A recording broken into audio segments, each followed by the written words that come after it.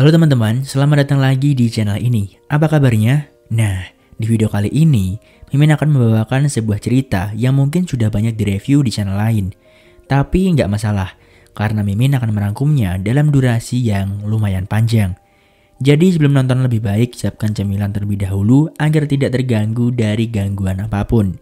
Luangkan waktu, nyantai, dan mari kita mulai ceritanya.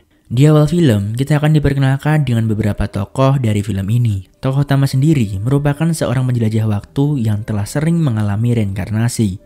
Karena seringnya dia reinkarnasi, membuat dirinya bisa menguasai berbagai macam ilmu untuk pertahanan diri. Namanya adalah Lin Fei. Untuk scan awal juga dijelaskan lebih detail mengenai diri Fei. Ia seorang menjelajah waktu, membaca berbagai macam buku ilmu, melawan ribuan iblis, berguru ke mana pun, memantau apa yang terjadi, juga berusaha meningkatkan kekuatan yang ia miliki. Dalam melawan Kaisar Abis, semua orang sekte Wanjian mati kecuali Lin Fei. Ia mengukir sebuah wasiat, siapa pun yang menemukannya akan mendapatkan tujuh gudang rahasia. Itu merupakan satu-satunya cara agar sekte Wanjian terus ada.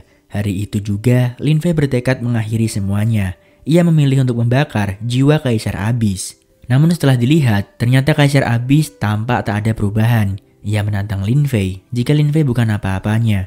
Merasa kurang, pada akhirnya Lin Fei memutuskan untuk meledakkan diri bersama Kaisar Abis. Lin Fei mengambil energi dari para prajurit yang mati di perataran zona Kaisar Abis sebagai pemantiknya dan Lin Fei sebagai apinya.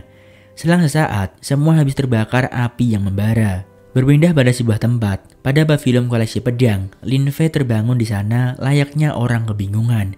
Karena seingat Lin Fei, dia sudah mati. Lin Fei juga membawa sebuah buku ilmu pedang. Tak lama berselang, datanglah Tianxing. Karena wajahnya sangat mirip dengan Kaisar Abis, membuat Lin Fei ketakutan. Nampak jelas Tianxing lebih mengunggulkan dirinya sendiri ketimbang lainnya. Tianxing selalu mengatakan banyak hal, bahkan dia sering membual. Tak lama berselang, tiba-tiba muncul perwujudan roh yang berusaha untuk menghabisi Tianxing. Namun sayang, Tianxing tidak bisa merasakan atau melihatnya. Hanya Lin Fei lah yang tahu, karena memang perwujudan roh ini merupakan bentuk reinkarnasi Lin Fei di waktu-waktu yang lebih dulu. Di sini, sempat Lin Fei berpikir apakah Kaisar Abis terlahir kembali. Namun setelahnya, semua itu Lin Fei singkirkan. Ia lebih terfokus ke sisa jiwa. Tianxing sendiri terus berbicara omong kosong. Dia bilang Lin Fei akan memohon ampun padanya lah, memohon agar tidak dilaporkan lah, dan banyak lagi. Setelahnya Tianxing membatin, seharusnya Tianxing pura-pura tak peduli, agar Lin Fei memohon-mohon padanya, dan Tianxing menolak Lin Fei dengan keras, sehingga Lin Fei benar-benar memohon kepada Tianxing. Dan saat itu terjadi, ia akan memberi pelajaran ke Lin Fei. Lin Fei yang lebih dulu jengkel hanya mengumpat dalam hati. Jika Tianxing nampaknya seorang murid yang bodoh, hanya wajahnya saja yang mewarisi Kaisar Abis. Dan tiba-tiba Tianxing menyerang Lin Fei. Akan tetapi, Lin Fei sendiri berusaha menangkis serangan dari Tianxing dan menyebabkan ledakan di sana. Lalu sisa jiwa itu memohon ke Lin Fei agar dia mengajar Tianxing. Setelah menimbang-nimbang, Lin Fei pun menyetujuinya, hitung-hitung melatih kultivasi. Sebelum dilanjutkan, Lin Fei menanyai Tianxing terkait bagaimana Tianxing tahu jika ia datang ke sini untuk mencuri buku ilmu pedang. Tianxing sendiri hanya mengatakan karena Lin Fei memegang buku itu di tangannya. Mendengar itu, Lin Fei hanya tertawa. Ia menjelaskan jika buku itu terjatuh dan ia ingin mengembalikannya. Lagi pula jika Lin Fei bisa membuktikan jika kemampuan pedangnya bisa mengalahkan tebasan Dewa Tianxing, apakah akan membuktikan jika dirinya tidak bersalah? Setelah negosiasi yang lumayan panjang, Tianxing tetap saja meremehkan Lin Fei. Dirinya tak percaya begitu saja terhadap Lin Fei. Lin Fei hanya diam sembari membatin. Jika dalam sekte Wanjian, pedang kelahiran bisa digunakan untuk melawan hukum takdir. Lin Fei hendak pergi, namun sebelumnya dia bilang, jika Tianxing tak ingin bertarung maka ia akan pergi sembari melempar buku ilmu pedang itu. Tianxing seketika berkata, jika dirinya menang maka Lin Fei tak boleh membantah lagi omongannya. Yang kemudian bertarunglah keduanya di sana. Melihat Lin Fei mengacungkan pedang ke bawah, itu menandakan sikap seorang senior. Tianxing yang diremehkan seperti itu merasa tak terima. Ia bilang, bahkan pria di ranah kelahiran roh tak akan berani menahan pedangnya. Sedangkan Lin Fei hanya pada ranah pembangunan pondasi. Jelas, Lin Fei tak akan selamat. Namun yang terjadi setelahnya sungguh di luar dugaan. Tianxing tersekak mat. Lin Fei mengacungkan pedang tepat ke lehernya. Kini giliran Lin Fei yang meremehkan Tianxing. Ia mengingatkan Tianxing untuk kembali belajar. dan membaca lagi apa itu roh mulia tak terkalahkan yang Lin Fei pakai barusan. Kesal dengan perkataan Lin Fei, ia pun kembali membuka buku ilmu pedang dengan bodohnya. Dia juga berkata, jika dirinya akan mengungkapkan kebohongan Lin Fei. Perkataan Tianxing tak Lin Fei gubris sedikit pun, ia memilih pergi meninggalkan ruangan tersebut. Saat di rumah, Lin Fei duduk berdua dengan sisa jiwanya. Ia penasaran mengapa sisa jiwa bisa berada di waktu yang sama. Maka dari itu, Lin Fei menanyai mengapa dirinya bisa mati. Sosok itu mendekat dan memberikan memori kehidupan di kepala Lin Fei. Kembali ke masa lalu, di mana saat itu Lin Fei berlatih diam-diam. Pagi dan malam ia terus berusaha mendalami ilmu pedang. Satu persatu buku ia baca hingga larut malam. Hingga Lin Fei mati karena terlalu banyak belajar dan membaca dengan keras. Bodoh itu anugerah, ya enggak? Canda. Kini baru Lin Fei sadari jika dia kembali melakukan perjalanan waktu, lalu tiba di Sekte Wanjian dari ribuan tahun kemudian. Namun Lin Fei sendiri berusaha untuk tidak percaya karena ia menganggap semua itu terlalu kebetulan. Setelahnya Lin Fei mengotak-atik sebuah benda seperti kartu. Akan tetapi tetap saja tidak bisa. Plat itu belum pernah dibuka. Lantas siapa yang mewarisi kekuatan di dalamnya?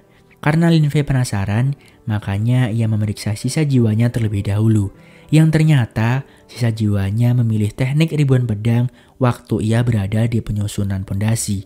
Hal itu jelas membuat Lin Fei kesal.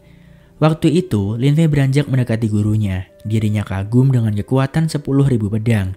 Gurunya hanya memberitahu, jika satu kekuatan pedang butuh waktu satu dekade untuk dapat dikuasai. Sedangkan 10.000 pedang itu butuh waktu yang sangat lama untuk dapat dikuasai. Lin Fei sangat kesal dengan itu. Ia menyayangkan apakah dia hanya akan menjadi roh selamanya. Namun tiba-tiba, Lin Fei terpikirkan sesuatu dengan plat tersebut. Ia mengambilnya dan mengubahnya menjadi peta. Jika benda itu masih terdapat di gua es misterius, maka teknik ribuan pedang telah terpecahkan. Bertepatan saat itu juga, sisa jiwa juga perlahan mulai memudar meninggalkan Lin Fei sendiri di sana. Setelah Lin Fei pelajari dari ingatan pemilik sebelumnya, takut akan sulit untuk menuju ke gua es misterius. Bertepatan saat itu juga, sebuah pedang melintas tepat di depan kepala Lin Fei dan tertancap pada dinding tersebut. Telat sedikit saja bisa hilang kepala Lin Fei. Setelah pedang itu menancap pada sebuah dinding, Lin Fei segera mematikan penerangan. Di luar, terdapat dua orang berjalan mendekat. Itu adalah Senior Lee bersama anak buahnya. Senior Lee terlihat marah-marah karena memang tengah dipengaruhi minuman beralkohol. Ia juga mencari di mana pedangnya berada. Lin Fei yang melihat itu segera menarik pedang yang tertancap di dinding, lalu melemparkannya keluar ruangan. Junior itu mengambil pedang yang tergeletak di pelataran.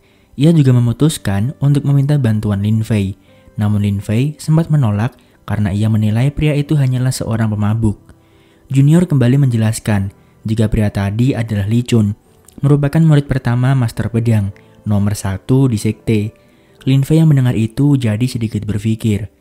Setelah menimbang-nimbang, Lin Fei memutuskan untuk membantu junior itu menangani Li Chun. Li Chun sendiri terus berjalan mendekati kediaman seorang wanita.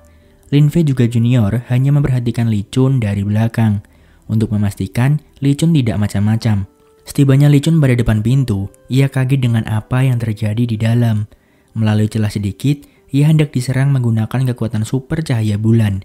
Licun terpental dan keluarlah sosok wanita cantik sembari menenteng pedang cahaya bulan. Lin Fei yang melihat itu sangat mengaguminya. Pedang cahaya bulan merupakan benda langka yang membuat Lin Fei ingin sekali melihatnya dari jarak dekat. Namun karena situasi, hal itu ia urungkan. Setelahnya, Li Chun kembali mendekati sosok wanita itu. Dalam pengaruh alkohol, Li Chun berusaha untuk merayu wanita itu. Karena kesal, wanita itu memberikan sebuah serangan ke Li Chun. Lin Fei yang melihat itu segera menendang badan Li Chun, yang membuatnya jatuh tersungkur. Junior yang melihat itu sedikit lega. Lin Fei menambahkan, ia bilang jika di sini merupakan puncak keseimbangan giok, bukan puncak pedang milik Li Chun. Jadi, Lin Fei dengan tegas meminta untuk jangan mengganggu ketenangan di sini atau kalau tidak, maka Lin Fei akan menyerangnya. Mendengar itu, Li Chun jadi emosi. Ia meremehkan Lin Fei, dan saat itu juga ia melakukan perlawanan ke Lin Fei. Beberapa kali pukulan namun tak ada satupun yang kena. Yang berujung, Li Chun terkena tendangan Lin Fei, dan membuatnya jatuh ke tanah. Sudah begitu, Li Chun menantang Lin Fei untuk membunuhnya, jika Lin Fei berani.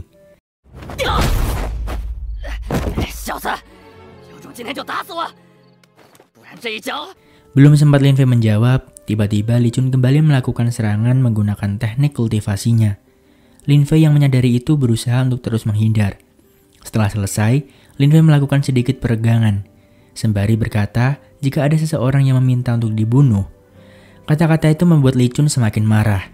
Ia menggunakan jurus jiwanya untuk menghabisi Lin Fei. Akan tetapi, ketika Lin Fei melempar sebuah batu ke arah perut Li Chun, ia kesakitan. Lin Fei mendekat dan ingin menuntaskan tugas akhirnya untuk menghabisi nyawa Li Chun. Setelah dipukuli beberapa kali, Li Chun menyerah dan meminta maaf ke Lin Fei. Junior yang melarai keduanya. Ia bilang, jangan hanya masalah seperti ini membuat masa depan Lin Fei berantakan. Karena guru akan marah jika sesama murid berkelahi. Li Chun sendiri juga meminta maaf ke Lin Fei, karena apa yang telah ia lakukan tadi tidaklah baik. Setelah meminta maaf, dalam hati Li Chun ia tetap dendam kepada Lin Fei.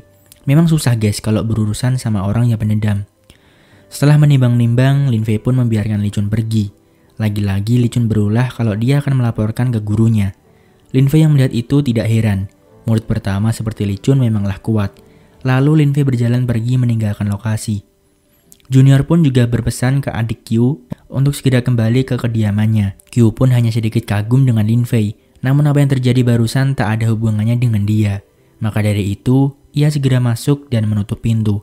Sedangkan junior itu beranjak mengikuti Lin Fei. Di lain tempat, nampak Luo Shen Xiao tengah bersantai sembari menikmati minumannya. Tiba-tiba Li Chun datang di sana yang membuat Shen Xiao kaget. Li Chun mengadu jika salah satu muridnya telah berani memperlakukan dirinya dengan tidak baik. Guru Shen sendiri menanyai Li Chun, murid yang mana yang ia maksud. Li Chun sendiri juga bingung murid yang mana. Tiba-tiba Lin Fei datang di sana dan dengan beraninya langsung mengakui perbuatan yang telah dia lakukan. Junior juga meminta guru agar tidak menghukum Lin Fei, karena Lin Fei tidak salah. Dia hanya mencoba membantu Junior menangani Li Chun. Guru Sen mendekati mereka berdua dan menyuruh Junior untuk diam. Malahan Guru Sen meminta batu roh lagi ke Lin Fei. Dan guru bilang akan ia kembalikan nanti. Hal itu membuat Lin Fei bingung dan sedikit greget ke gurunya. Bukannya dihukum, malahan selalu meminjam batu roh. Lin Fei mengingatkan Guru Sen jika batu roh yang dipinjamnya sebulan lalu belum dikembalikan. Li Chun marah-marah dan segera meminta Guru Sen untuk menghukum Lin Fei. Junior hendak kembali membela, namun dihalangi oleh Lin Fei. Lin Fei mengakui kesalahannya. Dia telah menyerang Li Chun tadi. Maka dari itu, Lin Fei siap menanggung risiko. Setelah itu, Guru Sen memukul kepala Lin Fei, yang membuatnya kesakitan. Di sini Guru Shen berpura-pura seolah Lin Fei hanya melakukan kesalahan kecil dan memberi peringatan saja. Lin Fei yang tahu itu jadi tambah heran, apalagi Li Chun yang merasa tak terima diperlakukan demikian oleh Guru Shen. Guru Shen mendekati Lin Fei. Ia bilang jika dirinya tidak memiliki kekuatan atau otoritas. Namun di sini, Lin Fei terus meyakinkan Guru Shen jika apa yang telah ia lakukan tadinya sangat salah dan sudah pantas untuk menerima sebuah hukuman. Li Chun sendiri juga mendukung tindakan Lin Fei. Lin Fei juga menambahkan, jika Guru Shen tidak menghukumnya, maka Guru Shen juga akan terkena potongan gaji dari ketua sekte. Lin Fei juga tahu jika Guru Shen sangat berpengaruh dalam penyulingan senjata dan banyak membutuhkan batu roh. Bahkan gaji bulanannya hanya bisa untuk menyambung hidup. Lalu Lin Fei beranjak mendekati Li Chun. Dia meminta Li Chun agar tetap berkata, agar Lin Fei ditetapkan berkultivasi pada gua es misterius. Mendengar itu, Li Chun jadi lebih santai. Dengan begitu, ia tak perlu memaksa-maksa Lin Fei untuk menuju ke sana. Tiba-tiba Guru Shen berkata, jika dengar-dengar, Wu Yue lebih suka menghukum murid untuk menjaga tunggu pedang. Namun Lin Fei menolak dengan alasan dia tidak suka panas. Yang kemudian Lin Fei menyogok Guru Shen dengan sebuah batu roh, tabungan terakhir milik Lin Fei, dan ia meminta untuk dikirim ke gua es misterius saja. Yang kemudian Guru Sen bilang ke Li Chun untuk ke gua es misterius saja. Li Chun pun menimbang-nimbang, yang pada akhirnya ia juga setuju jika Lin Fei dikirim ke gua es misterius. Setelahnya Guru Sen mengirim surat ke atasan terlebih dahulu. Lalu Li Chun pergi melewati Lin Fei dengan perkataan pedas. Selang sesaat, Guru Sen melepas kepergian Lin Fei secara simbolis. Setelah semua pergi, Guru Sen memukul Lin Fei. Dia tahu jika Lin Fei memiliki niat lain di gua es misterius. Kemudian Guru Sen membiarkan Lin Fei. Sebelum pergi, Lin Fei meminta lentera itu untuk penerangan, dan beranjaklah Lin Fei dari sana. Di lain tempat pada kediaman Lin Fei, nampak Tianxing menghampiri sembari membawa pasung. Ia menduga Lin Fei akan gemetar ketakutan nantinya. Namun yang terjadi sungguh di luar dugaan. Lin Fei keluar rumah dengan perasaan gembira. Dia bahkan menyalahkan Tianxing kenapa datangnya lama sekali. Dengan senang hati, Lin Fei memasang pasungnya sendiri dan memberikan pedang itu ke Tianxing. Lalu berangkatlah mereka dari sana. Namun Tianxing sendiri masih kebingungan. Kenapa Lin Fei begitu bahagia Kenapa Lin Fei begitu bahagia menjalani masa hukumannya?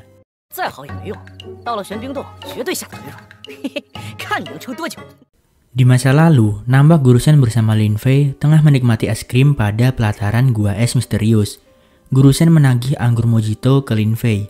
Namun Lin Fei sendiri memaksa agar dirinya diberi buku ilmu pedang dulu, agar ia juga bisa menyuling senjata. Jika berhasil, jangankan anggur mojito, Lin Fei juga akan menjamu Guru Shen dengan whisky. Mendengar itu Guru Shen tertawa. Ia bangga pada Lin Fei dengan apa yang telah ia lakukan. Kembali ke saat ini, tibalah mereka pada halaman gua es misterius. Tempat itu tidak ada perubahannya. Tianxing menakut-nakuti Lin Fei. Agar ia tak kencing di celana, di sepanjang lorong masuk terdapat banyak obor api sebagai penerangan. Seperti biasa, Tianxing selalu membual.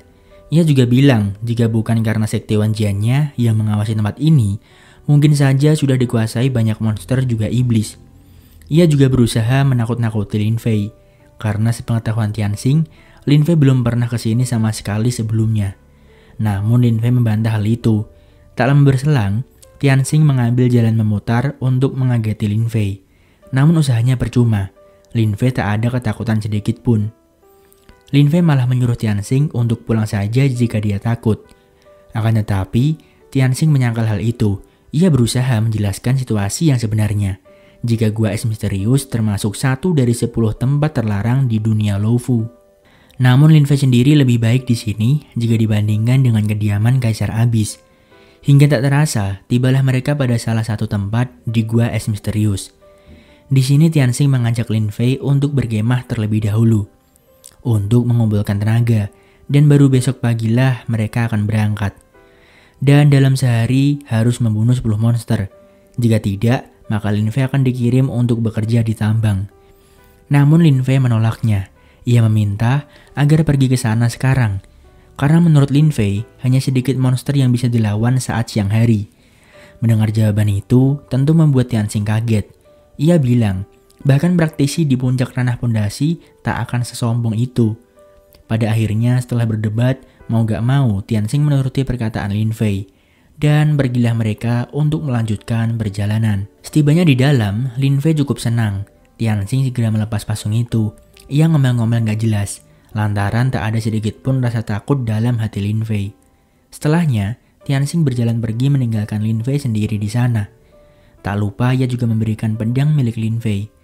Lin Fei sendiri sangat berterima kasih kepada Tianxing juga Li Chun. Karena mereka lah ia bisa masuk ke dalam sini. Lin Fei segera berjalan menyusuri pinggiran sungai. Tak lama berselang, muncullah seekor ular iblis di sana. Lin Fei yang menyadari keberadaan hewan itu seketika menebasnya tanpa ampun. Setelah ular itu terkapar, Lin Fei mengambil elemen dunia bawah dari ular itu, lalu memasukkannya ke dalam botol. Ia berniat mengumpulkan kekuatan dari dunia bawah. Namun untuk mengubahnya menjadi esensi senjata, itu masih sangat jauh dari kata cukup. Lin Fei kembali melanjutkan perjalanannya. Di sepanjang jalan, banyak ular yang telah Lin Fei bunuh.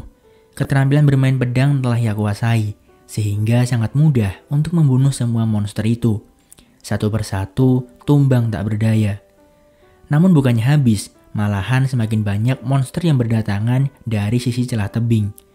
Lin Fei yang melihat itu merasa kewalahan. Berulang kali ia berusaha untuk bertahan. Namun karena jumlah monster itu terlalu banyak, membuat Lin Fei terjatuh dan menjadi santapan lezat para monster. Di waktu yang sama, Tianxing terbangun dari tidurnya. Dalam mimpinya, Lin Fei dikeroyok banyak monster buas.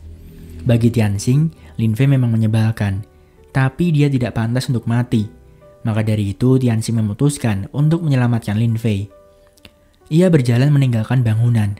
Setibanya Tianxing pada pinggiran sungai itu, telah terdapat banyak bangkai ular di sana. Tianxing terus berusaha mencari keberadaan Lin Fei di antara tumbukan ular-ular itu. Tiba-tiba sebuah cahaya muncul. Tianxing yang penasaran mencoba untuk mendekat. Ternyata itu adalah Lin Fei. Tianxing segera memanggilnya. Ia kesal dengan apa yang dilakukan oleh Lin Fei. Setengah tak percaya, Tianxing memastikan jika semua ular itu mati terbunuh di tangan Lin Fei.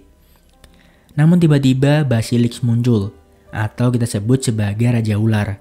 Mereka kaget, Basilix hanya muncul di hilir. Namun kenapa bisa muncul di sini? Lin Fei hanya nyeletuk, mungkin saja karena bau darah, membuat Raja Ular datang kemari. Baru saja Tianxing berkata jika mereka harus kerjasama untuk menyerang Raja Ular, eh tiba-tiba Lin Fei menyerangnya sendiri. Sekali sabetan membuat ular itu terkapar. Dan lagi-lagi membuat Lin Fei mendapatkan elemen dunia bawah. Tianxing yang melihat itu terus meyakinkan dirinya jika semua itu tidaklah mungkin. Bahkan, Tianxing menduga jika Lin Fei ada sesuatu. Sebelumnya Lin Fei bisa menghindari tebasannya. Sekarang bisa membunuh ular dengan sekali tebasan. Karena didasari penyakit iri hati, maka dari itu membuat Tianxing ingin selalu menghakimi Lin Fei. Ia mendekati Lin Fei dan berkata, jika ia telah mengetahui rahasia Lin Fei. Lin Fei sendiri menjadi khawatir, apakah memang identitas aslinya telah diketahui oleh Tianxing menggunakan hukum identifikasi lawan. Namun ternyata Tianxing tak semintar itu. Ia merebut pedang Lin Fei karena Tianxing yakini kekuatan sejati Lin Fei berasal dari pedangnya. Kebetulan balistik muncul lagi, dan kini saatnya Tianxing unjuk gigi. Dengan pedenya Tianxing berlari lalu melompat hendak menebas monster itu. Namun hal tak terduga terjadi, di mana pedang yang Tianxing gunakan patah. Tak hanya itu, ia dihantam menggunakan buntut Basilix yang membuat Tianxing jatuh tersungkur. Saat detik-detik terakhir, Tianxing meminta pertolongan ke Lin Fei. Dan saat itu juga, Lin Fei maju membantu Tianxing. Sekali tebas, ular itu terkapar. Dan kejadian tadi, baru Lin Fei ketahui mengapa secara berturut-turut dua Basilix muncul. Yang ternyata karena darah segar Tianxing. Berikutnya, Lin Fei memanfaatkan darah segar Tianxing untuk memancing banyak balisik datang. Tianxing diikat pada sebuah batu, lalu air memenuhi tubuhnya. Selang sesaat keluarlah monster yang lebih besar daripada Basilix. Tianxing terpental ke daratan, dan Lin Fei sendiri jadi ketakutan. Ia tak pernah mengira jika yang keluar adalah atasannya Basilix. Kini Lin Fei tak tahu apa yang harus ia lakukan.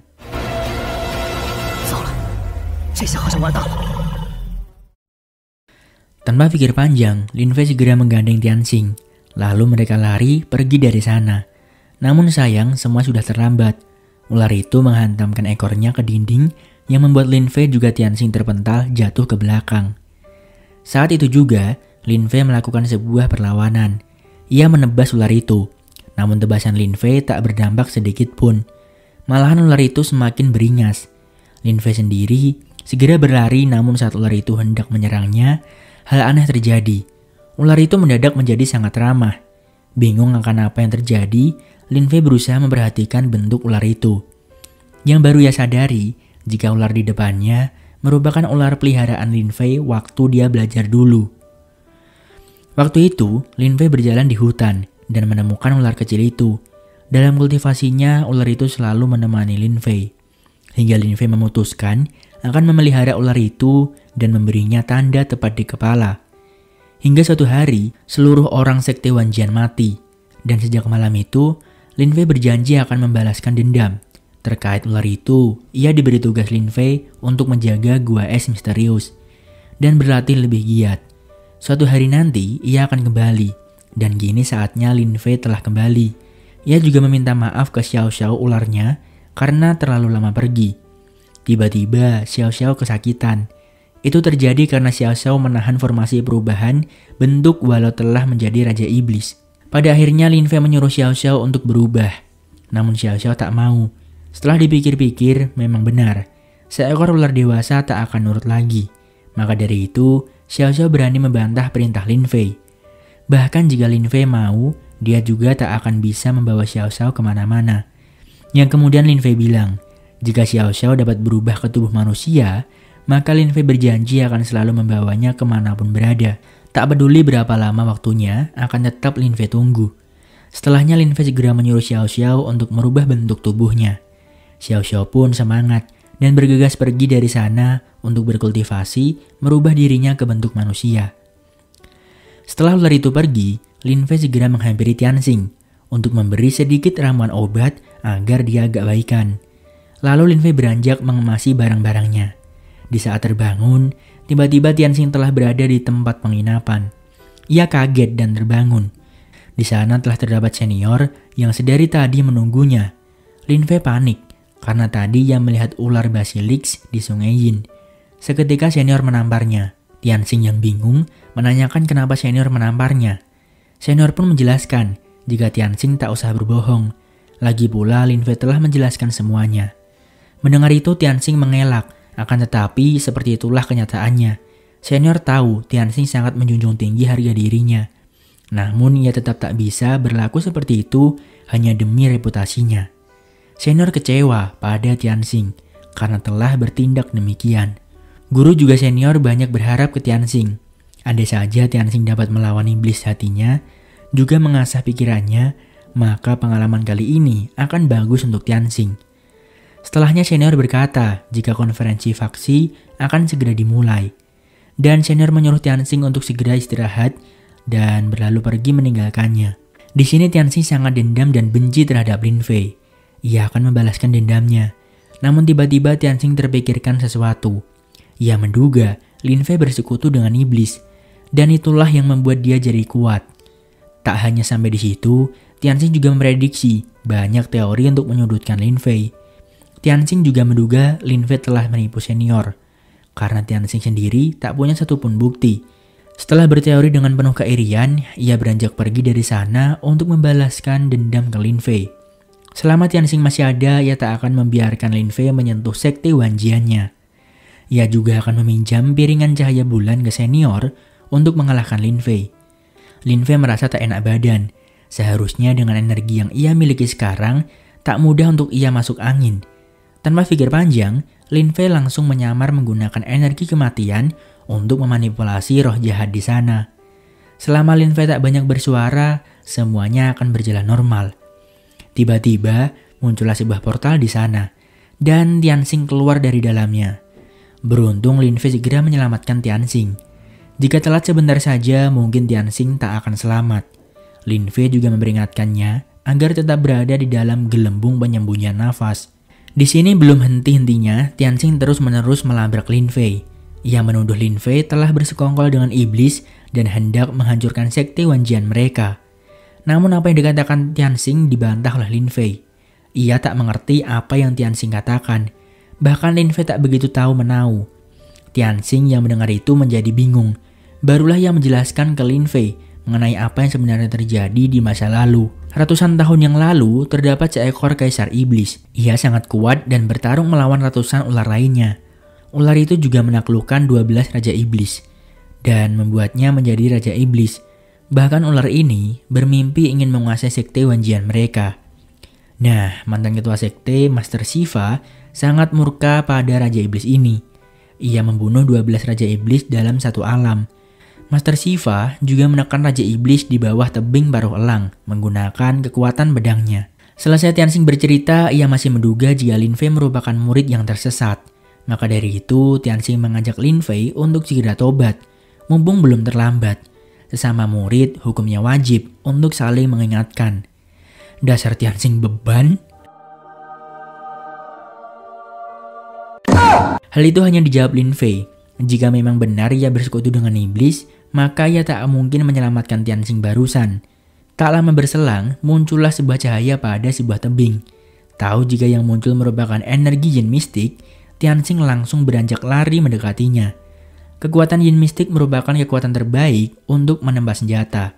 Lin Fei yang menyadari ada yang tidak beres, berusaha menghentikan Tianxing. Kini Tianxing berada di bawah kendali iblis, atau sering kita sebut sebagai kesurupan atau uh, terpengaruh ilusi. Karena kalap, tanpa sadar Tianxing menghabisi para iblis ular itu secara membabi buta. Semua mati terbunuh. Lin Fei sendiri berusaha untuk menghentikan Tianxing. Namun bukannya mudah dikendalikan, malahan Tianxing semakin menjadi-jadi. Ia menyerang Lin Fei menggunakan jurusnya. Dengan cepat, Lin Fei berpikir, saat ada kesempatan, Lin Fei segera menempelkan jarinya ke kepala Tianxing. Pada akhirnya, Tianxing berhasil tersadar dari gangguan ilusi. Ya, syukurlah. Beban-beban sumpah.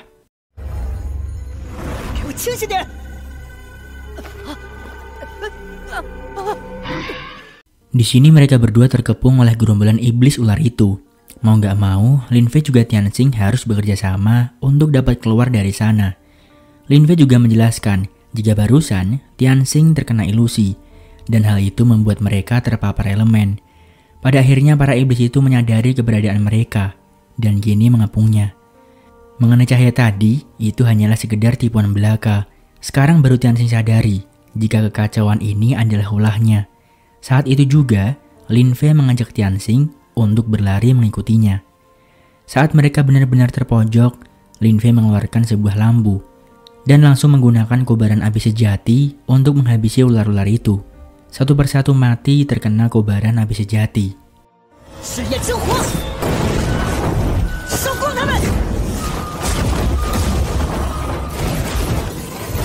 Setelahnya mereka pun lega Walau Lin Fei harus menghabiskan setengah dari kekuatan rohnya, namun lampu itu sangat membantu sekali. Jika saja tak ada lampu itu, mungkin mereka berdua telah mati di sini. Kini Tianxing mengakui kelalaiannya, dan ia berhutang budi ke Lin Fei. Lin sendiri tak memperdulikan itu. Ia hendak meminjam piringan rasi bulan, namun Tianxing menolak dengan alasan jika benda itu milik gurunya. Akan tetapi, Lin tetap memaksa Tianxing jika mereka ingin selamat dari para iblis jahat, maka itulah cara satu-satunya yang dapat dilakukan. Tianxing sekali lagi mengingatkan jika piringan itu hanya dapat digunakan sekali dalam sehari. Setelah memberikannya ke Lin Fei, semua segera melakukan tugasnya masing-masing. Lin Fei bergegas untuk membentuk elemen menggunakan piringan rasi bulan, sedangkan Tianxing ditugaskan untuk menahan para iblis itu mendekat. Sembari Lin Fei selesai menyelesaikan elemen itu, Kini Tianxing bertekad bulat. Dirinya harus membalas budi Lin Fei karena telah melindungi nyawanya barusan. Dengan penuh percaya diri, Tianxing memantapkan langkah dan segera menebas satu persatu para iblis jahat itu. Ia berusaha mengerahkan seluruh tenaganya agar Lin Fei tetap aman. Hingga pada satu titik, Tianxing mulai kewalahan karena memang iblis itu terus berdatangan dengan jumlah yang semakin banyak. Tianxing terduduk jatuh ke bawah kehabisan tenaga dan pasrah, siap menerima apa pun yang terjadi. Detik-detik terakhir sebelum kematiannya, Tianxing meminta maaf kepada gurunya. Saat ia sudah bersiap memejamkan mata, hal aneh terjadi. Lin Fei memukul mundur para iblis itu. Tianxing bangkit dari sana dan merasa bahagia karena portal teleportasi kembali bisa diaktifkan. Lin Fei berpesan ke Tianxing untuk menyampaikan ke senior atau ketua jika segel iblis telah lepas dan dapat membahayakan sekte. Lin Fei juga tak punya waktu untuk menjelaskan. Mendengar itu, Tianxing jadi merasa ada yang aneh. Namun tiba-tiba saat ia sadar jika Lin Fei memilih tinggal, semua sudah terlambat. Lin Fei melempar Tianxing ke portal bertepatan saat portal itu menutup.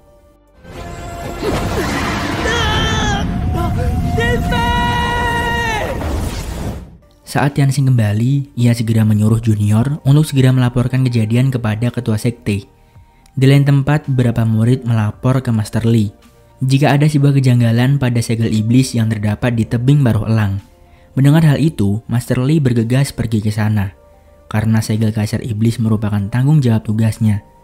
Namun sebelum itu, murid memberitahu Master Lee satu hal lagi. Jika terdapat seorang murid bernama Lin Fei yang terjebak di tengah-tengah iblis ular. Master Lee yang mendengar itu hanya menduga jika dengan kekuatan Lin Fei hanya akan menjadikan santapan ular dan dapat dipastikan Lin Fei telah meninggal. Kembali ke Lin Fei, ia sedikit senang karena setidaknya pembuat masalah telah menghilang. Kini saatnya Lin Fei meledakkan pintu gua agar semua ular itu mati tak tersisa. Namun belum sempat Lin Fei melakukan aksinya, sebuah serangan datang dan mengenai perutnya. Ya, itu adalah serangan dari Kaisar Iblis. Wujudnya tak terlihat karena tertutup oleh gumbalan awan hitam. Lin Fei menilai ada yang salah dengan Kaisar Iblis. Bayangan yang terbentuk tidak ada sangkut pautnya dengan segel yang terlepas. Tiba-tiba Lin Fei disergap menggunakan jaring-jaring elemen dari iblis itu. Berulang kali, Lin Fei berusaha melepaskan diri. Tetap saja tak ada yang bisa dilakukan. Cengkeraman itu terlalu kuat. Untung di saat yang tepat, datanglah Xiao Xiao ia langsung menyerang Kaisar Iblis. Lin Fei yang melihat itu saja kaget. Xiao Xiao rela meninggalkan revolusinya hanya untuk menyelamatkan Lin Fei. Sehingga menimbulkan banyak luka pada tubuh Xiao Xiao. Entah bagaimana ceritanya tiba-tiba Kaisar Iblis itu pergi dari sana. Xiao Xiao mendekati Lin Fei. Lin Fei meminta maaf ke Xiao Xiao. Xiao Xiao sendiri segera membawa Lin Fei menuju tempat harta tahun itu. Di perjalanan, Lin Fei sangat menyesal karena tak bisa melindungi Xiao Xiao. Malahan selalu Xiao Xiao yang melindunginya. Setelah sampai, Xiao Xiao menurunkan Lin Fei. Lin Fei hanya berpesan agar Xiao Xiao berjuang untuk menyelesaikan revolusinya. Lalu Xiao Xiao pergi dari sana untuk kembali ke tempat revolusinya. Lin Fei juga berjanji, suatu hari nanti ia akan terus berusaha menjadi lebih kuat. Dan Lin Fei lah yang akan melindungi Xiao Xiao. Akhirnya Lin Fei meninggalkan tempat itu dan berjalan menuju sebuah makam. Di sini Lin Fei menggunakan portal teleportasi untuk memasuki makam. Setibanya di dalam sampai Lin Fei pada sebuah gerbang. Di sana, ia menggali salah satu sisi bagian dan mengambil sebuah kotak yang sangat berharga. Yang di dalamnya terdapat sebuah benda seperti piringan. Itu merupakan benda yang sangat berguna bagi Lin Fei untuk membantunya melatih teknik 10.000 pedang. Saat ia sedang senang-senangnya, tiba-tiba benda itu pecah menjadi banyak bagian. Melihat itu Lin Fei jadi gimana ya guys?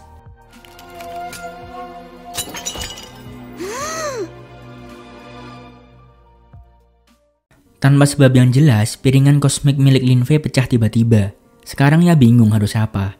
Bahkan Lin Fei sempat menduga bahwa ini hanyalah tipuan yang ia mainkan sendiri. Lin Fei masih positif jika kosmik yang asli pasti ditaruh di bawahnya. Ia pun beranjak kembali ke lubang galian tadi berusaha terus menggali berharap menemukan kotak lainnya. Namun apa daya, kotak itu tak pernah ada di sana. Dan kotak tadi merupakan benda yang asli. Sempat terbesit dalam pikirannya, apakah ia hanya akan menjadi tubuh yang tidak berguna lagi pada reinkarnasi kali ini. Dengan gonta ia berjalan dan menemukan emas murni Taiji. Namun ia memilih untuk tidak mengambilnya. Walaupun bisa menjadi senjata tiada tara, tetap tak akan ada untungnya untuk Lin Fei. Ia pun beranjak pergi meninggalkannya. Namun ia segera kembali dan mengambil emas itu. Lin Fei mulai berpikir dan teringat sesuatu. Dulu saat Lin Fei menata buku di museum, tanpa sengaja ia menemukan buku 10.000 pedang. Namun karena Lin Fei tak tertarik, maka ia melemparnya begitu saja. Kebetulan senior berada di sana dan mengingatkan Lin Fei jika buku itu masih bisa digunakan. Mendengar itu, Lin Fei membantah jika buku itu tak ada gunanya teknik 10.000 pedang yang tak pernah terbukti. Lin Fei mengatakan itu juga bukan tanpa sebab. Dari pengalaman pribadi Lin Fei tak ada yang bisa diandalkan dari dalam buku itu. Bahkan gurunya pun pernah bilang jika buku 10.000 pedang tidak berguna. Jadi untuk berjaga-jaga lebih baik buku itu dihancurkan saja daripada menyesatkan murid yang lain. Seniornya sendiri membenarkan memang buku itu merupakan teknik yang sangat sulit. Akan tetapi tidak menutup kemungkinan jika mereka akan berhasil seperti masalah yang tidak bisa diselesaikan dengan akal sehat. Terkadang akan lebih mudah untuk diselesaikan dengan cara berpikir di luar nalar. Seniornya juga sempat berdiskusi sebelumnya dengan seorang praktisi tubuh. Yang intinya, dengan tingkatan yang sama seseorang dapat merubah tubuhnya sebagai senjata bawaan yang mematikan. Jadi tak perlu untuk mendalami ilmu pedang itu. Namun kesempatan untuk berhasil sangatlah kecil. Karena dipikir-pikir perkataan Lin Fei itu benar, maka senior memutuskan untuk tetap menghancurkan buku itu. Saat ini Lin Fei ingin membuktikannya dengan emas murni Taiji sebagai bahan utama. Walau hanya memiliki satu resiko akan tetapi jika gagal, Lin Fei akan mati atau setidaknya berubah menjadi sampah. Ia kembali mengingat apakah ada metode lainnya. Setelah Lin Fei menelaah lagi ingatannya di masa lalu, tetap saja tak ada hasil. Kini Lin Fei paham, jika cara terbaik yaitu mengambil risiko tertinggi. Karena tak ingin mengulur waktu lebih lama, Lin Fei segera memulai ritualnya menggunakan teknik Buddha Surgawi dan membakar elemen emas Tai. Sepersekian detik elemen itu masuk ke tubuh Lin Fei dan yang terjadi setelahnya membuat tubuh Lin Fei merasa kesakitan. Elemen itu bergerak tak terkendali menyiksa bagian-bagian tubuh Lin Fei. Merasa kewalahan, Lin Fei memutuskan untuk menekan elemen emas bawaan ke dalam perutnya. Kedua elemen itu beradu di dalam, dan menimbulkan percikan-percikan elemen. Lin Fei sendiri tak bisa menahan kondisi seperti itu terus-menerus. Dengan cepat, ia segera mengambil pedang andalan, lalu merubahnya juga menjadi elemen.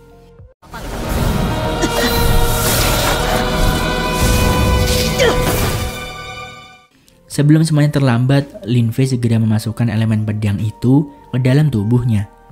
Situasi seperti ini memaksa Lin Fei untuk berpikir di luar nalar. Tiga elemen itu membaur menjadi satu. Setelah mendapatkan sebuah tanda, dengan segera Lin Fei mulai menyerap banyak energi emas. Karena kedua elemen sebelumnya tak akan pernah bisa menyatu jika hanya dibiarkan saja. Sekuat tenaga Lin Fei terus menyerap emas murni yang ada di dalam tubuhnya. Selang beberapa saat, Lin Fei telah berhasil meningkatkan tubuhnya ke ranah yang Yuan. Resiko yang harus dibayar dengan nyawa jika gagal. Dari sini kita bisa belajar bahwa jangan pernah berhenti mencoba sebelum tahu hasilnya. Hidup cuma sekali, ambillah resiko terbesar jika hidupmu ingin berubah. Kalahkan ketakutan demi upgrade hidup yang lebih baik. Kini Lin Fei paham apa yang harus ia lakukan setelah ini. Jika Lin Fei ingin terus meningkatkan kekuatan, maka ia harus menemukan semakin banyak energi emas bawaan untuk mencapai 81 larangan. Dengan begitu, Lin Fei bisa menguasai jurus ilmu pedang. Namun sayangnya, energi emas murni Taiji sangat sulit untuk didapatkan oleh Lin Fei. Yang alhasil dirinya hanya bisa melaju selangkah demi selangkah untuk menuju 10.000 pedang. Di lain tempat nampak Senior Lee memasuki segel Kaisar Iblis. Entah apa yang dilakukannya, Mimin kurang tahu. Yang jelas ia seperti memberi mantra sihir. Di lain hari, Tianxing mendatangi senior di sana. Ia menanyakan terkait keadaan segel Kaisar Iblis. Berdasarkan pengakuan dari senior, dilihat dari rentan waktu harusnya sudah selesai diperbaiki. Dan juga dengan kekuatan dari senior Lee, seharusnya dapat mengeluarkan Lin Fei dengan selamat. Selang sesaat, datanglah senior Lee di sana. Tianxing menghampiri, lalu memberi hormat pada senior Lee. Ia menyampaikan jika terdapat murid pada tebing paruh elang bersamanya beberapa hari lalu. Namun senior Lee seolah enggan mengurusi hal itu. Ia bilang jika Lin Fei sudah mati. Tianxing sendiri tak percaya dan ia berusaha untuk mengejar senior Lee. Ia menanyakan apakah senior Lee melihat jika Lin Fei mati. Mendengar itu senior Lee memarahi Tianxing. Ia berkata, dengan tingkat kultivasi mereka berdua, sudah dipastikan tak akan pernah selamat di sana. Namun Tianxing tetap kekeh. Tianxing meminta ke senior Lee agar mencarinya sekali lagi. Namun Senior Lee malah menyerang Tianxing menggunakan jurusnya, yang membuat Tianxing terpental jatuh ke belakang.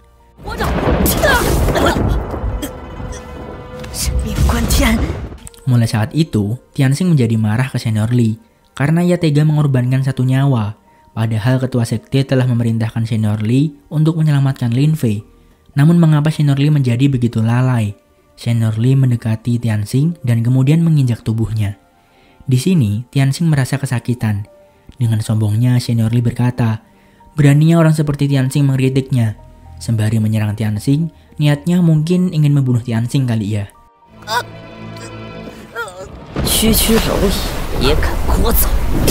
Itu ya adik-adik, contoh-contoh senior yang tak pantas untuk dicontoh. Gemblong. Mimin gak nyangka. Tianxing yang awalnya benci sekali dengan Lin Fei, kini sangat peduli bahkan memperjuangkan hak Lin Fei. Dari sini ada sebuah pelajaran lagi, bahwa tak semuanya yang jahat itu jahat, dan tak semuanya yang baik itu baik. Walau mungkin Tianxing di awalnya jahat, namun ia tetap memiliki hati yang lembut. Dan senior Lee yang di awalnya terlihat baik dan bijaksana, malahan ia memiliki hati yang busuk, sombong dan merasa paling kuat. Dua perbedaan yang bisa kita jadikan pelajaran, bahwa jangan pernah menilai orang dari luarnya saja, dan jangan terlalu cepat menyimpulkan sifat seseorang. Saat Yansing hendak dihabisi oleh Senior Lee, sebuah pertolongan dari Lin Fei datang. Ia menyerang tangan Senior Lee. Tianxing bangkit dan beranjak mendekati Lin Fei. Ia senang, akhirnya Lin Fei berhasil kembali dengan selamat. Lin Fei memastikan keadaan Tianxing, apakah dia baik-baik saja. Setelah dipastikan baik, kini Tianxing tak akan menyalahkan Senior Lee lagi terkait kelalaiannya. Tak ingin memperpanjang masalah, Tianxing memilih untuk menghindar. Ia segera mengajak Lin Fei untuk pergi dari sana. Namun belum sempat mereka berjalan, tiba-tiba Sinar Lee menahan mereka. Ia bilang tak ada yang menyuruh kedua murid itu untuk pergi dari sana. Mendengar itu, Tianxing mengungkapkan kekesalannya. Walau bagaimanapun, Senior Lee tak boleh memperlakukan murid lain dengan cara seperti itu. Apalagi Senior Lee telah ditugaskan ketua sekte untuk menjaga segel Kaisar Iblis. Namun yang terjadi, ada kerusakan di sana. Kata-kata barusan membuat Lin Fei jadi berpikir bahwa memang ada yang tidak benar di sini. Tahu segel rusak, namun Senior Lee tetap tidak melaporkannya. Setelah dipikir-pikir, Lin Fei mulai paham. Tiba-tiba Senior Lee mengeluarkan sebuah pedang iblis. Lin Fei juga bersiap untuk menghadapi Senior Lee. Walau kekuatannya masih jauh dari Senior Lee, namun Lin Fei akan tetap mencobanya. Lantas setelahnya, Senior Lee membuat alibi seolah-olah itu merupakan kesalahan Lin Fei. Senior Lee berkata, jika Lin Fei menyimpan dendam ke Sekte Wanjian, makanya ia sengaja merusak segel itu agar Kaisar Iblis bisa masuk ke Sekte Wanjian. Ia juga menyuruh Lin Fei mengakui perbuatannya. Jika sampai Lin Fei melakukan perlawanan, maka Lee tak segan-segan untuk membunuhnya. Anggap saja kali ini merupakan mimpi buruk Lin Fei. Mendengar perkataan dari Senior Lee, Tianxing langsung jeplak dan bilang, Fitnah! Sembari menunjuk Senior Lee. Senior Lee sendiri meremehkan Tianxing. Sedangkan Lin Fei menyuruh Tianxing untuk segera pergi dari sana untuk melapor ke senior lain. Melihat Tianxing pergi dari sana membuat Senior Lee tertawa. Ia sangat mengasihani Lin Fei karena harus ditinggalkan oleh orang-orang yang ia lindungi. Bukannya gentar, justru Lin Fei membalikkan kata-kata itu ke Senior Lee. Justru Senior Lillah yang menggunakan kekuatan geser iblis untuk kekuatan pedang iblis. Tapi ia menyalahkan Lin Fei, seolah itu merupakan dendam Lin Fei di masa lalu.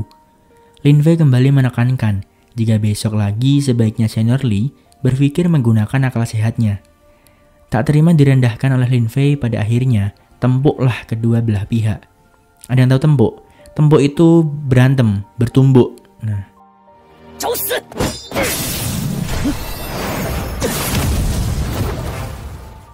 Lin Fei terdorong mundur beberapa langkah. Pedang itu memiliki energi pedang Taiyi bawaan, maka dari itu ia dapat menahan serangan iblis Lin Fei. Jika tidak ada itu, tak akan mungkin Senior Li bisa menahan serangan Lin Fei. Setelahnya Lin Fei mengejek Senior Li, jika kekuatannya tak seberapa. Jengkel selalu direndahkan, Senior Li geram dan menggunakan jurus pembunuh Dewa Iblis Surgawi.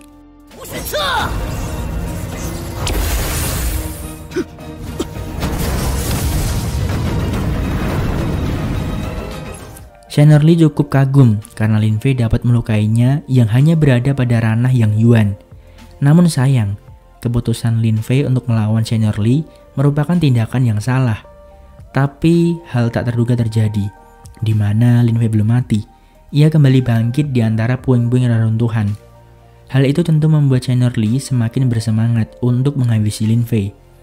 Ia akan membuat Lin Fei menyesal telah lahir kembali di dunia ini. Lin Fei yang digitukan tak hanya tinggal diam. Ia malah berjanji, Senior Lee akan mati lebih dulu dari Lin Fei. Karena Senior Lee tak ingin basa-basi, ia langsung kembali menyerang Lin Fei tanpa ampun. Di saat yang bersamaan, Lin Fei juga mengaktifkan elemen iblis yang sudah Lin Fei masukkan ke perut Senior Lee. Tiba-tiba sebuah suara menghentikan keduanya. Seseorang telah datang. Itu merupakan Wang Lingguan. Ia hendak membawa Lin Fei menghadap ketua sekte. Itu merupakan sebuah perintah. Dan apakah si Norli berani melanggar perintah? Nampaknya tidak. Dia mengurungkan niatnya, menyimpan kembali pedangnya dan membatin dalam hati atau telepati. Saat Norli mencapai ranah jin, dalam sebulan maka ia akan membunuh Lin Fei. Lin Fei juga membalas, ia khawatir Norli tak akan bisa mencapai ranah itu. Maka dari itu, besok-besok ketika Senior berhasil menguasai elemen baru, hendaknya dicoba terlebih dahulu. Lalu Norli berlalu pergi begitu saja. Tianxing membantu Lin Fei berdiri. Lin Fei juga berterima kasih atas kecerdasan Tianxing. Jika ia terlambat satu menit saja, mungkin Senior Li telah mati. Tianxing tak menyangka, di situasi yang seperti ini masih bisa-bisanya Lin Fei bercanda. Lin Fei juga berterima kasih ke Senior Wang berkat bantuannya. Kemudian, pergilah mereka menuju puncak sekte. Setibanya mereka bertiga di sana, ketua sekte menyambutnya dengan ramah. Setelah mereka semua duduk, ketua sekte membuka pembicaraan. Ia sudah tahu kabar mengenai segel yang rusak. Apa yang dilakukan Lin Fei untuk menyelamatkan sekte Wanjian merupakan hal yang sangat berpengaruh besar bagi sekte. Ketua sekte kagum padanya. Maka dari itu, ia menawarkan hadiah apa yang akan Lin Fei minta. Lin Fei sendiri sedikit canggung, dan ia memilih diam karena Lin Fei merasa tak pantas untuk menerima hadiah. Ketua sekte kembali melanjutkan perkataannya. Ia tahu Lin Fei kini berada pada ranah yang Yuan, maka sesuatu yang tepat yang akan ketua sekte kasih ialah emas murni pola awan. Menurut ketua sekte juga, sekarang merupakan waktu yang tepat untuk menanam benih ke Linfei. Dengan senang hati, Linfei menerima pemberian itu dari ketua sekte. Sebelumnya, ia tak pernah menduga jika inilah yang akan ia dapat. Setelah acara serah terima itu selesai, Linfei bergegas pergi meninggalkan bangunan. Ya, walaupun menurut Linfei ini bukanlah emas murni bawaan, dan kekuatannya tak sekuat emas murni bawaan, akan tetapi ia tetap menerimanya. Lumayan untuk meningkatkan kekuatan pedang yang Lin Fei miliki. Dari kejauhan, Tianxing juga senior Wang hanya memperhatikan Lin Fei. Saking seriusnya di dalam, sampai lupa Tianxing bertanya, terkait bagaimana Lin Fei bisa melarikan diri. Ia pun mengurungkan niatnya, karena mengorek kerahasiaan orang lain itu tidaklah baik. Di lain tempat, nampak Lin Fei terus memurnikan kekuatan emas pemberian ketua sekte tadi. Setelah berusaha sekian lama, akhirnya Lin Fei dapat memurnikan energi pedang pola awan pemberian ketua sekte tadi. Ia jadi penasaran, apakah Senior Lee telah menerima kejutan yang telah ia persiapkan sebelumnya. Berganti pada sebuah hutan, nampak Senior Lee tengah berkultivasi untuk meningkatkan tanahnya. Namun sekuat apa pun ia mencoba, tetap saja gagal dan gagal lagi. Ia jadi kesal sendiri dibuatnya. Lalu film pun bersambung. Udah hampir satu jam Mimin menemani kegabutan kalian untuk membawakan cerita kali ini. Banyak sekali pelajaran yang dapat kita ambil dari apa yang telah kita tonton. Bahwa belum tentu yang terlihat baik dia baik, dan yang terlihat buruk itu buruk. Jangan pernah menilai seseorang dari penampilannya, karena itu hanya akan membuatmu terjerumus dalam kesesatan. Dari Tianxing kita belajar, jangan suka berprasangka buruk ke orang. Seperti yang kalian lihat, Tianxing selalu apes karena sering iri atau berprasangka buruk kepada Lin Fei. Ya, semoga kalian gak bosan menonton video kali ini. Jujur kalau Mimin sih bosen enggak, cuman mulut agak bergetar dan tenggorokan serasa dikuras habis. Hampir sejam Mimin ngomong terus. Dan kalau kalian lihat, kalian baru sadar video ini sudah hampir 55 menit. Tapi nggak masalah, semoga kalian terhibur. Jika kalian suka jangan lupa untuk bantu dengan cara like videonya sebanyak-banyaknya. Dan share ke mana pun yang kalian bisa. Dan sampai bertemu kembali pada video berikutnya. See you next time dan terima kasih. Bye-bye.